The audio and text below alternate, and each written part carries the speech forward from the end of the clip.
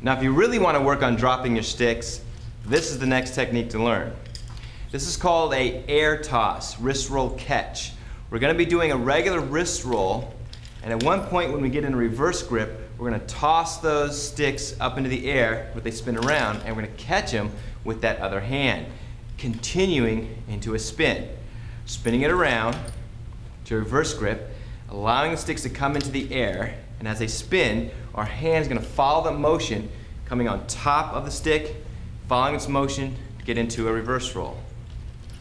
Here and right there. I'm spinning, I let go, I catch it. Spinning, catch it. So again, starting off with the wrist roll, throwing in the air, hand comes and grab. Tossing it. As it starts to spin, when it gets to this position, your hand's coming down, grabbing it into reverse grip, and continuing it into the motion. Spinning it, and there you go.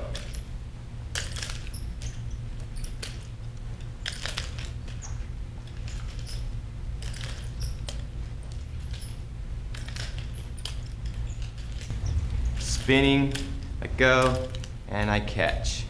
Spin, let go, there's a catch. Spin, let go, and there's a catch.